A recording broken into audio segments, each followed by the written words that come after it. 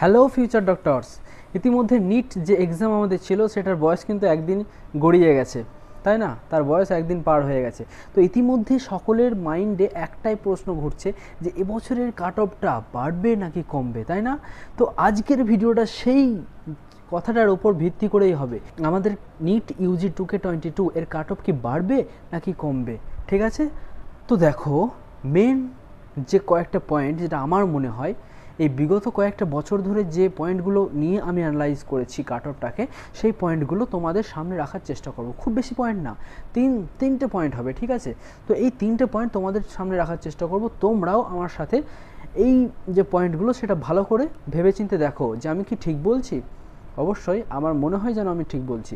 তো এক number point যেটা ভাইটাল পয়েন্ট কিন্তু, যে তোমাদের কোশ্চেনের ডিফিকাল্টি লেভেলটা কেমন ছিল? তোমরা এক্সাম দিয়েছ, তোমরা ভালো করে জানো, শুধু এক্সাম দেওয়া না, তোমরা ইতিমধ্যে আমি মনে করি যে ম্যাক্সিমাম থেকে ম্যাক্সিমাম ছেলে মেয়েরা ইতিমধ্যে কি করেছে, তাদের কোশ্চেন পেপারের যে অ্যান্সার করেছে, তারা সেই অ্যান্সারের সাথে অ্যালেন বা আকাশ বা যে কোনো ইনস্টিটিউট তাদের সঙ্গে অ্যান্সার শিটটা মিলিয়ে নিয়েছে, তাই না? তো তারা বুঝে গেছে যে তারা কেমন মার্কস পেয়েছে বা কোশ্চেনের ডিফিকাল্টি লেভেলটা কেমন ছিল, তাদের ভুল কখনো হয়েছে। কোশ্চেনের ডিফিকাল্টি লেভেল যদি আমি বলতে চাই যে বায়োলজি আর কেমিস্ট্রি তাই তো? সহজ ছিল কিন্তু। বলব না যে কঠিন ছিল, সহজ ছিল বাট প্রবলেমটা কোথায়? শুধু কি সহজ থাকলে হবে আমাদের কাছে? হবে না। কারণ কটা কোশ্চেন একশো আশিটা কোশ্চেন আমাকে করতে হবে, কিন্তু মাত্র টাইম কত? একশো আশি মিনিট এবারে হয়তো কুড়ি মিনিট টাইম বেশি পেয়েছ বাট তবুও কিন্তু টাইমটা যথেষ্ট ছিল না। কেন? কারণ তারা কুড়ি মিনিট টাইম বেশি দিয়ে কী অ্যাড করেছে? অ্যাসাসেন্ট রিজন অ্যাড করেছে। তার সাথে কি অ্যাড আর যে সমস্ত কারেক্ট নন কারেক্ট ওই সমস্ত যে কোশ্চেনগুলো সেগুলোও কিন্তু ভুড়ি ভুড়ি ছিল। সো তোমাদের এই সমস্ত লেন্থি কোশ্চেনগুলো প্রচুর বেশি পরিমাণে ছিল। সো কোশ্চেনের গুণগত মান প্রত্যেকটা ইন্ডিভিজুয়ালি কোশ্চেন যদি ধরি, তো সহজ। কিন্তু যখন আমাদের কাছে এ সমস্ত ভুড়ি ভুড়ি মানে নট কারেক্ট কারেক্ট তারপরে অ্যাসাসেন রিজন টাইপের কোশ্চেন চলে আসে, তখন সহজ কোশ্চেনও অত কম টাইমের মধ্যে কিন্তু আমাদেরকে ডিফিকাল্ট মনে হয়। এটাই বাস্তব, এটাই রিয়ালিটি আমিও নিট অ্যাসপিরেন্ট ছিলাম, আমি নিজেই জানি। আমি নিজেই ফেস করেছি অ্যাসাসেন্ট রিজন এমনি নিজে ট্রাই করতাম। কিন্তু কম টাইমের মধ্যে যদি করতে চাও, তোমার মাথা কাজ করবে বলে আমার তো মনে হয় না।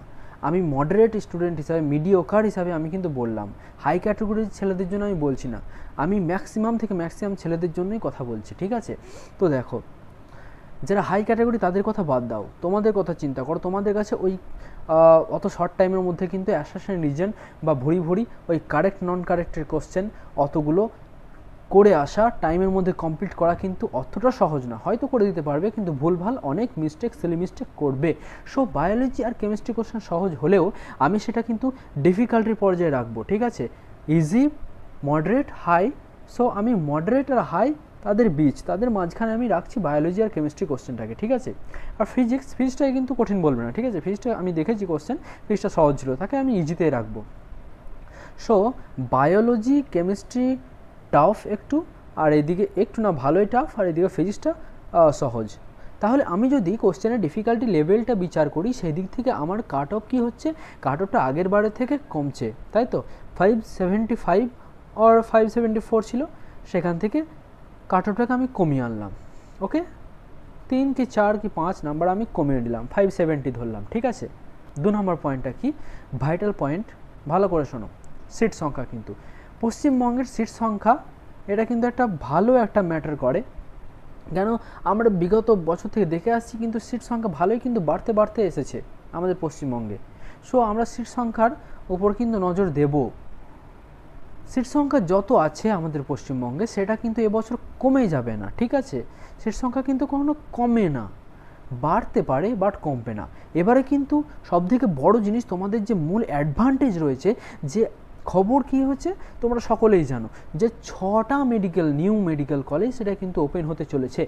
সো তোমাদের যদি ভাগ্য ভালো থাকে, সেটা পুরোপুরি ওপেন হবে। কেন? কারণ ছটা মেডিকেল কলেজ পুরোপুরিভাবে কিন্তু তাদেরকে রেডি করে রেখেছে। যে তারা যদি মানে চায় তো পুরোপুরি ছটা মেডিকেল কলেজই খুলে দিতে পারে। সো ছটা যদি মেডিকেল কলেজ ওপেন হয়, তাহলে বুঝতে পারছ কাট অফ লেভেলটা কোথায় কমবে? তো একদিকে গেল কোশ্চেনের ডিফিকাল্টি লেভেল আর একদিকে কী গেল? তোমার সিট সংখ্যা, তাই তো?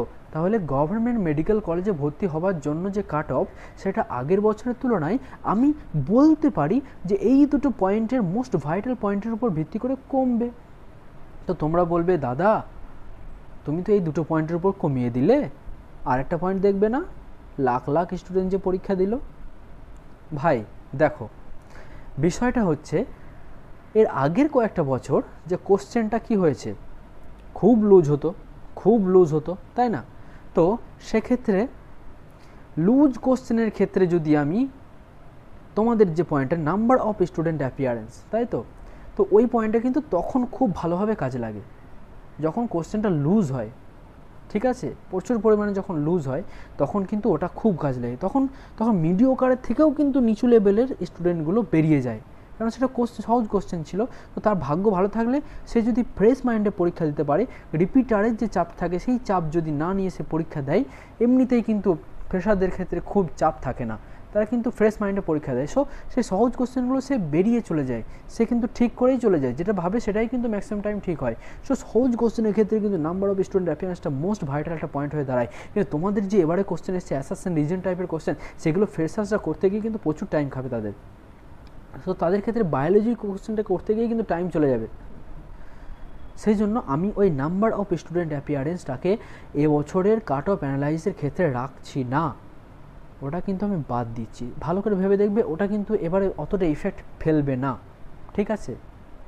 আর একটা পয়েন্ট যেটা কিন্তু পশ্চিমবঙ্গের ক্ষেত্রে মানে আমি প্রথমে তিনটে পয়েন্ট বলেছিলাম, তাই না? কিন্তু চারটে পয়েন্ট হবে।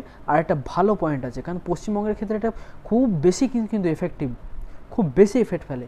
ডোমিসাইল বি আমি যে দুটো পয়েন্ট প্রথম বলেছি, সেই দুটো অনুযায়ী যেটা মোস্ট ভাইটালি এবছরের জন্য মনে হচ্ছে সেই অনুযায়ী কী হচ্ছে? কাটঅফটা কমছে। আর যে ডোমিসাইল বি যেটার মাধ্যমে কি অন্য রাজ্য থেকে আমাদের রাজ্যে আসছে মেডিকেল পড়তে?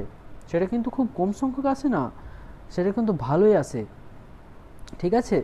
তো সেটার জন্য কিন্তু কাট অফটা একটু হাই হয়ে যায়।